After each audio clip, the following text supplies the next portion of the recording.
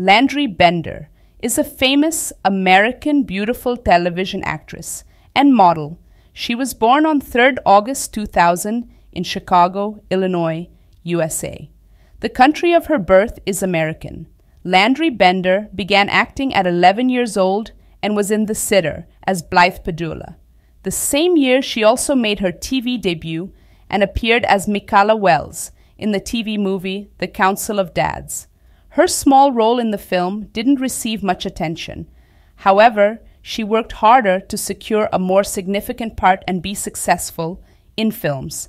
Thanks for watching.